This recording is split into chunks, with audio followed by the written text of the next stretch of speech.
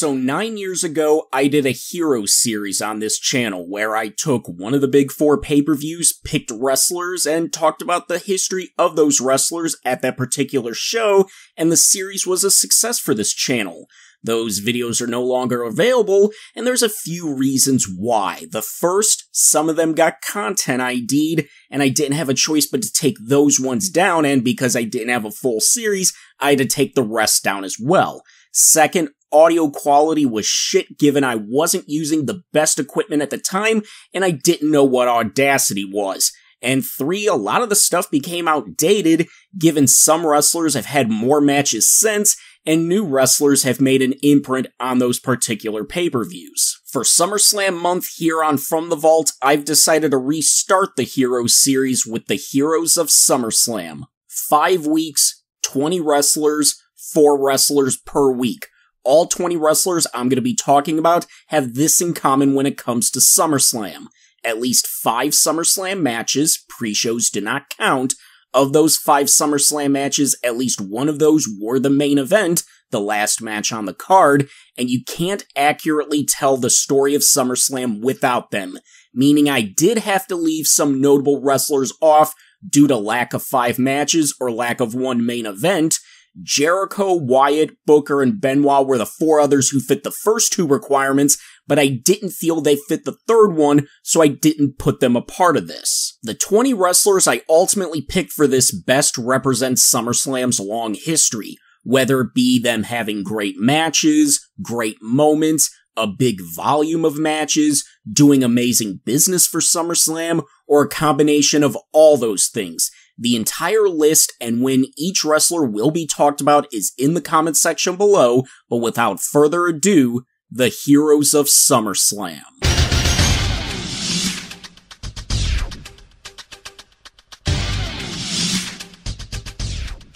Well, when talking about the early years of SummerSlam, it's hard to talk about them and not bring up the Ultimate Warrior because he played a very important role in those early SummerSlams. His SummerSlam stats are 5 matches, 2 main events, with a record of 5 0. And bringing up the story of SummerSlam, Warrior was a part of the first real SummerSlam moment in show's history at the very first one in 1988, him versus the Honky Tonk Man for the Intercontinental Championship. Originally, the match was supposed to be Honky Tonk Man versus Brutus Beefcake for the belt, However, Beefcake was written out with an injury from Ron Bass. In Beefcake's place was a mystery opponent, but Honky Tonk Man didn't want to know who it was, nor did he care who it was, because he's the greatest Intercontinental Champion of all time and he'll beat whoever it is. We get to the match. Honky Tonk Man comes out, says to bring somebody from the back, he don't care who it is. Out came the Ultimate Warrior. Bam, bam, bam. 31 seconds later, Warrior defeated Honky Tonk Man to win the Intercontinental Championship, still to this day one of the best moments in SummerSlam history. We get to SummerSlam 1989 and Warrior was once again challenging for the Intercontinental Championship, this time against Rick Rude. Warrior and Rude had been feuding all throughout 89, starting with the super pose down at the Royal Rumble in January. In April at WrestleMania 5, Rude won the Intercontinental Championship, and all throughout the spring and the summer, Warrior had been chasing Rude to get the belt back. The match itself was a really damn good one, one of Warrior's better matches. Roddy Piper, who Rude had also been feuding with at the time, made a big distraction that eventually led to Warrior getting the win and once again becoming the Intercontinental Champion. By SummerSlam 1990, Warrior had become World Wrestling Federation Champion, winning the belt in the Ultimate Challenge at WrestleMania 6, and at SummerSlam 1990, he was once again facing Rick Rude, this time for the big one, and this one in a steel cage. This one kind of felt like they were going back to something that was already settled because there hadn't really been much interaction between the two since SummerSlam 89. Personally, this should have been Warrior Earthquake because Warrior needed new opponents, but Warrior Rude in the rubber match inside a steel cage worked. Piper on commentary ripping Warrior a new one every chance he got. Rude would have this match won twice, but he didn't capitalize. Warrior would escape the cage to win and retain the world title. Now on to SummerSlam 1991, and this one was an infamous one for the Warrior as he was a part of the 3 on 2 handicap match made in hell teaming with world champion Hulk Hogan to face the Triangle of Terror, Sergeant Slaughter, Colonel Mustafa, and General Adnan. By this point, the Warrior had lost the belt, finished his feud with Savage, moved on to a feud with The Undertaker. That probably should have been the match for this show, but they wanted the two top baby faces against the top heel group.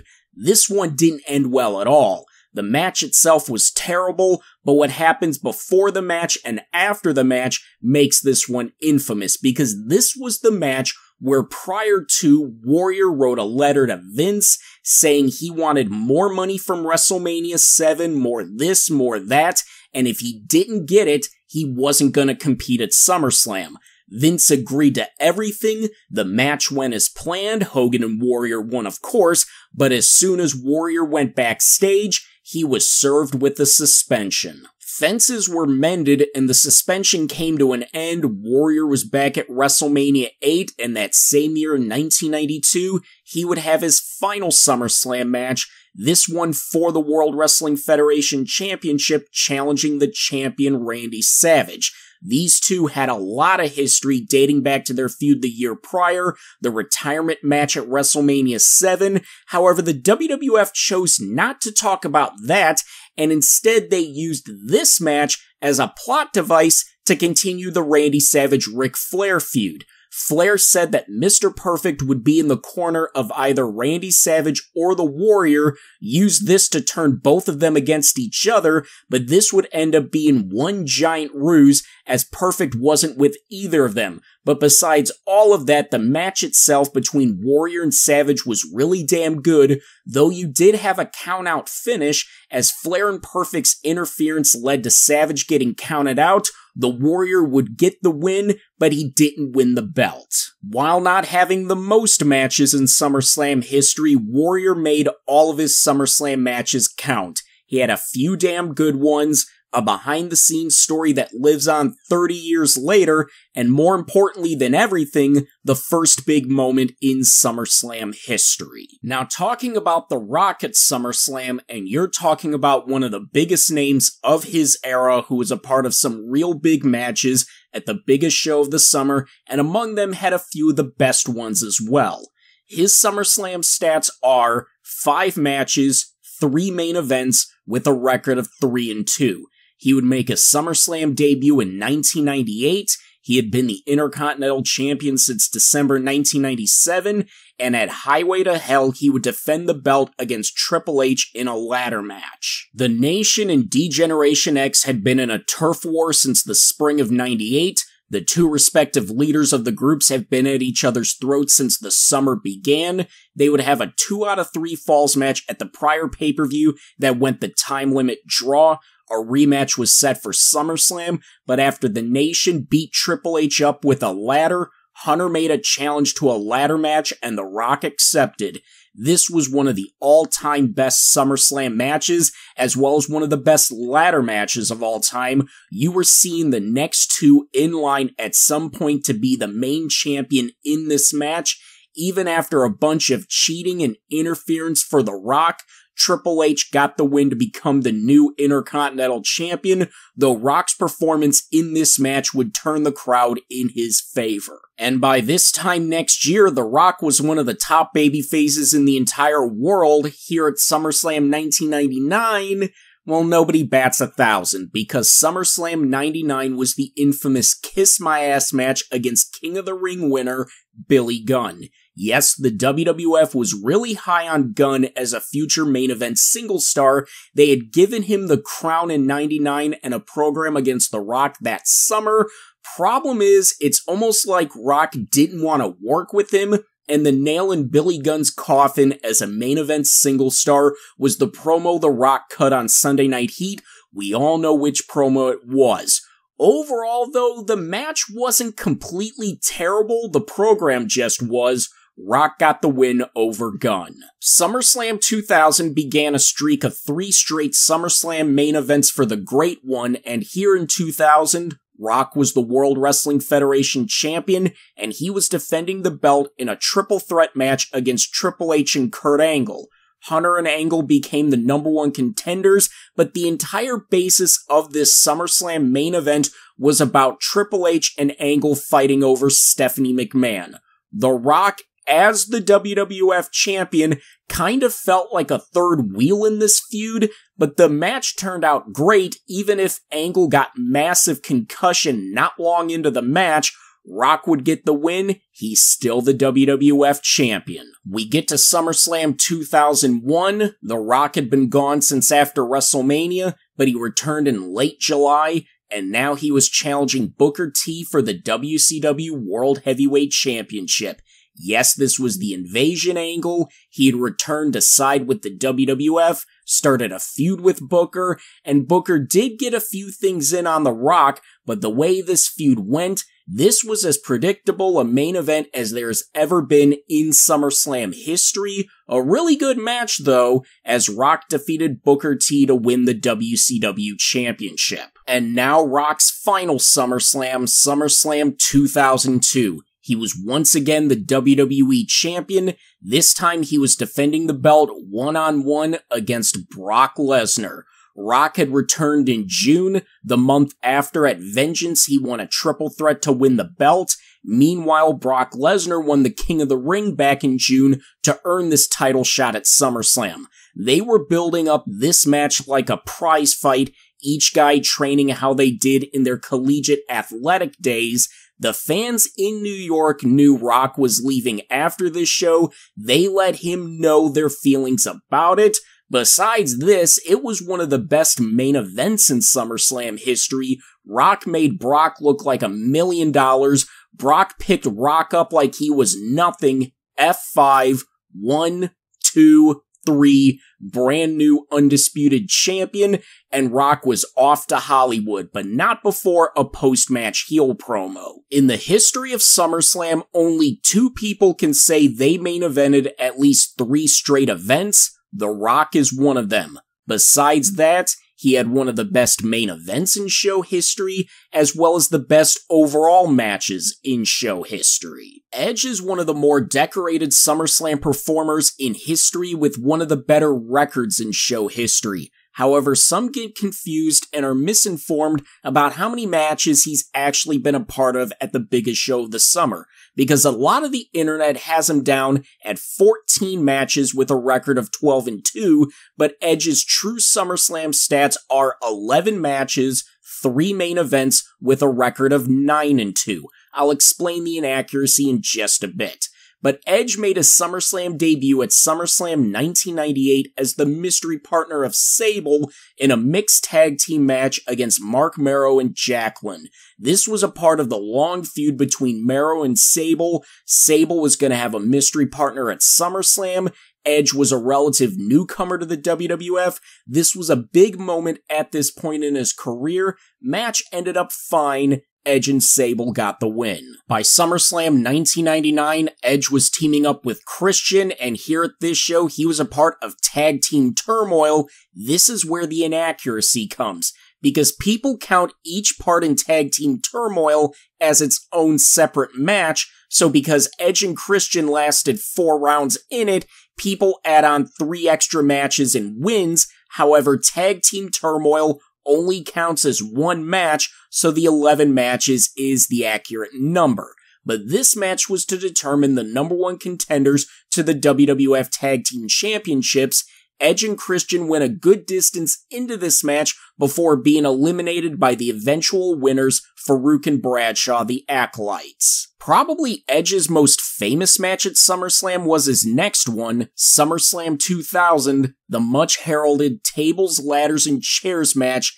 Edge and Christian defending the WWF Tag Team Championships against the Hardy Boys and the Dudley Boys. Why is this a tables, ladders, and chairs match? Well, Dudley's had the tables, Hardy's had the ladders, Edge and Christian had the chairs. They had already had a triangle ladder match at WrestleMania 2000, but with all these added extra weapons, Commissioner Foley made a TLC match for SummerSlam. It's the same rules as a ladder match, only the other weapons were legal to use here a classic SummerSlam match, one of the best ones in show's history, with Edge and Christian getting the win to retain the belts. Edge's first singles match at SummerSlam took place next at SummerSlam 2001. Here he was challenging Lance Storm of the Alliance for the Intercontinental Championship.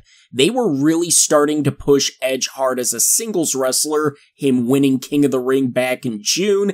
The Edge and Christian team was close to splitting up. There were even teases of it happening around this time, but after a little over 11 minutes, Edge defeated Storm in a really good match to win the IC title. SummerSlam 2002 saw a battle of the SmackDown 6 between Edge and Eddie Guerrero and there was more continual ramping Edge up as a single star. He wasn't quite there just yet in terms of being a main eventer, but even as far back as 2002, they had pinpoint Edge as a future world champion.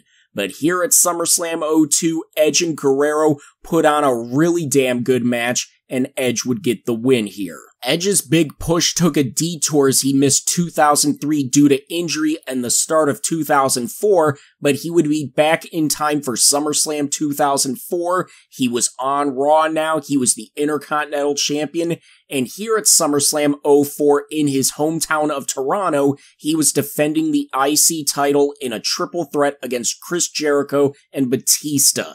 Very interesting crowd reactions here, as even though they were in Edge's hometown, the crowd booed him big time, and this would be the start of Edge's eventual heel turn later in the year. Edge would retain the title here, became the first reigning Intercontinental Champion to retain the belt via pinfall at SummerSlam, as the only other retentions of the belt had been via ladder match. Next up is SummerSlam 2005, and 05 should have been an all-time classic SummerSlam match that ended up being a giant disappointment.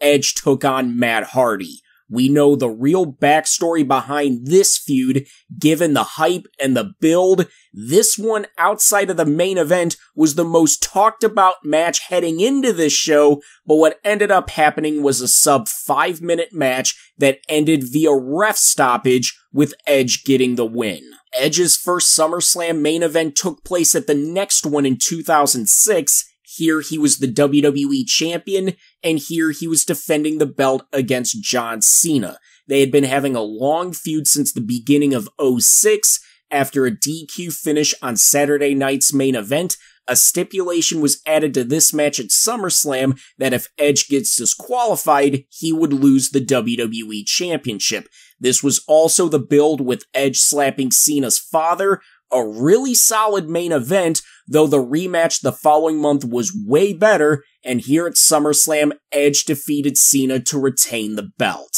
He would miss 2007 due to injury, so we fast forward to 2008, another main event for Edge, this time a Hell in a Cell match against The Undertaker.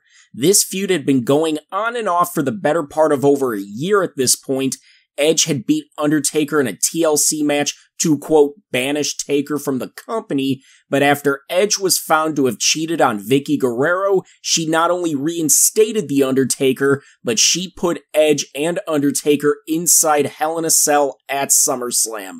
Phenomenal main event between these two. We get the post match Edge being sent to hell. Undertaker would pick up the win. Edge would miss 2009 due to injury, so fast forward one year later to 2010, and Edge was a part of a highly controversial Team Cena Team Nexus 7 on 7 main event, he was on Team Cena, and Edge was eliminated ninth in the match, though Team Cena ended up winning the match overall. I will talk more about the controversy when I eventually talk about Cena and SummerSlam. And 2010 seemed to be Edge's final SummerSlam match as he had to retire from the ring in 2011, but after a decade away, Edge made his in-ring return in 2021 Edge made his SummerSlam return, one of the bigger matches of the night versus Seth Rollins. Rollins cost Edge his Universal title match at Money in the Bank the month prior, plus years of history prior to this led to this match at the biggest show of the summer. Awesome throwback brood entrance for Edge, a really great match between these two, and Edge picked up the win. Edge consistently has had some damn good matches at SummerSlam, including a few you could consider among the best in show history. In modern SummerSlam times, one of the main faces of this show has been Roman Reigns. His SummerSlam stats are five matches, three main events, and a record of 4 and 1. Reigns' first SummerSlam match took place in 2014 against Randy Orton. The Shield had just broken up two months earlier, while Rollins and Ambrose were going against each other, Reigns was feuding against the Authority, you could already tell here that they were really starting to push Reigns hard as the next top guy. This was his first one-on-one pay-per-view match and a sort of litmus test here against Orton. I've seen a lot of people give this match flack, but going back and watching it, I thought this was a great match. Spear, it's over. Reigns gets the win here. SummerSlam 2015 and Reigns was in a tag team match, teaming up with Dean Ambrose to face the Wyatt family of Bray Wyatt and Luke Harper. Reigns and Wyatt, along with Ambrose and Harper, had been in individual feuds at this time. Notably, Wyatt cost Reigns money in the bank the prior month, so you had these two feuds become one. The result was them going back to the Shield versus the Wyatts, but just here in tag team form. Really good match here as Reigns and Ambrose got the win. He was scheduled to face Rusev for the US title at SummerSlam 2016, but the match didn't take place due to a pre-match brawl. The bell never rang, so that was not an official match. So fast forward to the next year, SummerSlam 2017. This is Reigns' first SummerSlam main event, and this would be a fatal four-way match for the Universal Championship champion Brock Lesnar versus the challengers Roman Reigns, Samoa Joe, and Braun Strowman. Both Reigns and Joe wanted a shot at Lesnar. They had a number one contenders match. Strowman interfered, so it became a fatal four way at SummerSlam. An all time classic SummerSlam main event. These four beat the shit out of each other Three Superman punches weren't enough for Reigns to get the win, as Lesnar hit him with the F5, won the match, and retained the belt. This wouldn't be the last time we saw Reigns versus Lesnar at a SummerSlam because the next year, SummerSlam 2018, it was Reigns versus Lesnar for the Universal Championship. Reigns had many chances at Lesnar for the belt throughout 2018, but failed each time. Reigns would win a triple threat match and then a one on one match to earn one more shot at Brock Lesnar and the belt. Money in the Bank holder Braun Strowman was at ringside ready to cash in when the time was right, though he didn't that night. After many attempts in trying, Reigns finally conquered his Lesnar demon, defeating the Beast and became the brand new Universal Champion. Surprisingly, Reigns was off the card as a healthy scratch in 2019. He didn't wrestle on the 2020 card either, though he did make his return from sabbatical at that 2020 show. The week after, he would win the Universal Championship, and he's been the champion ever since. One year later, Roman Reigns is in the main event of SummerSlam 2021, defending the belt against John Cena even though they did this match in 2017, here was a lot bigger. A lot has changed in four years. Reigns was now in his final form as the tribal chief. He was ready to make Cena his next victim. Great SummerSlam main event between the two. Reigns wins to retain the belt, and Roman Reigns looks to add to his SummerSlam legacy this year with his sixth match and fourth main event once again against Brock Lesnar. But in his prior matches at SummerSlam, some big time matches, some great matches, and some big wins from the tribal chief. So share your thoughts on Ultimate Warrior, The Rock, Edge, and Roman Reigns and their legacy at SummerSlam. Ask questions about these four and their SummerSlam legacy, and I'll answer them in a reply. For each of these four, what is your favorite and least favorite match of theirs at SummerSlam? And of these four, which do you think has the better SummerSlam legacy? Until next time, peace. It's the interview queen, Alicia too, and I would like to introduce you all to From the Vault, a weekly wrestling discussion hosted by James over on We Are Pro Wrestling on YouTube. Since 2017, From the Vault has covered various wrestling topics from the past, like pay-per-views, wrestler retrospectives, and much, much more. Make sure to subscribe and click the notification bell. Whatever episode you're actually listening to, whether current or archived, don't forget to like, comment, and share. And last but not least, like him on Facebook, follow him on Twitter, be sure to support, support, support because you will get tons of updates on future episodes there. All links are down below. So what are you waiting for? Go enjoy. Bye.